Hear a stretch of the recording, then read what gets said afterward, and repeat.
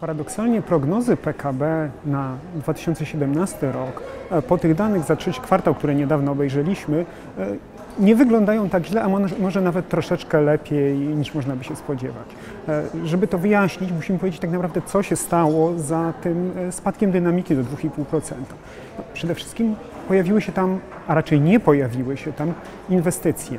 Inwestycje przede wszystkim po stronie rządowej, bo sektor prywatny inwestuje prawdopodobnie dosyć żwawo, natomiast sektor publiczny, rządowy i samorządowy przede wszystkim, tych e, pieniędzy nie wydaje. E, nie wydaje z różnych przyczyn, między innymi takiej, że stoimy w tej chwili jako okrakiem między dwiema perspektywami finansowymi Unii Europejskiej. Tych pieniędzy po prostu nie ma.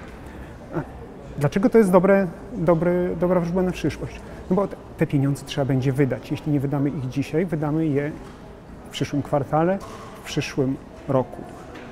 Te drogi muszą zostać wybudowane, latarniami oświetlone, trzeba wybudować wszystko to, czym żyją samorządy i czym żyje gospodarka. Te zadania nie znikną tylko dlatego, że chwilowo nie wydawaliśmy pieniędzy.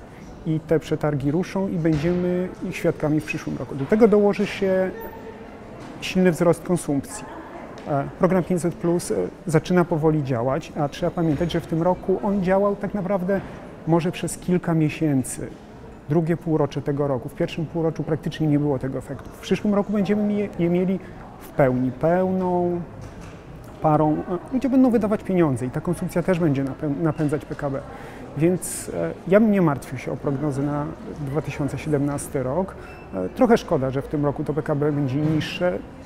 Też trzeba powiedzieć za sprawą takich statystycznych zmian, których GUS ostatnio dokonał, rewizji roku 2015. To jest zmiana punktu odniesienia, e, niestety na wyższy. E, ale nie zmienia to nic w fundamentach gospodarki. Te inwestycje się pojawią, choć w tej chwili ich troszeczkę brakuje. Tą słabość w wydatkowaniu publicznych środków na inwestycje widzimy też e, w nieco pozytywniejszym odbiciu w formie deficytu, a raczej jego braku w samorządach. Samorządy mają ogromną nadwyżkę, nadwyżkę jakiej nie notowały nigdy. Deficyt w sektorze, w budżecie centralnym jest na bardzo niskim poziomie, to także jest odzwierciedlenie, oprócz y, całkiem dobrych wpływów podatkowych, tego, że wydajemy mało pieniędzy na inwestycje.